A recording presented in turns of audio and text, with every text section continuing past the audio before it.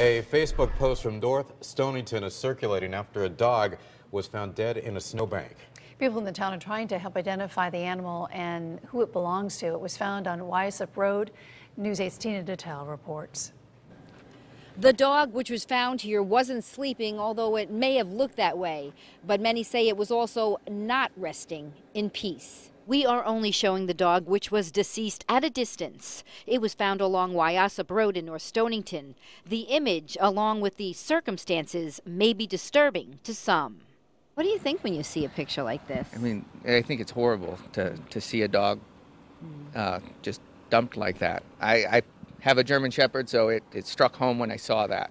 Right now, it is not known what happened to the dog. The more pressing question may be who left it there. Many are speaking out after the picture was posted on Facebook. It was surprising that one picture sent so many people in a an uproar, but it's totally understandable. It's it's a despicable way to, to treat an animal. That's really disrespectful to the animal and to its memory. Gloria Chipman considers dogs part of the family. She didn't see the picture and doesn't want to see it, but she does want to see the person who left the dog there identified.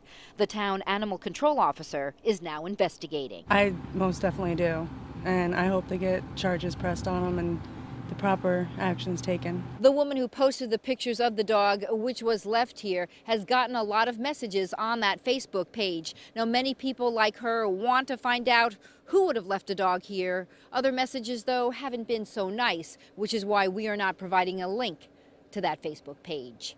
In North Stonington, Tina Detelj, News 8.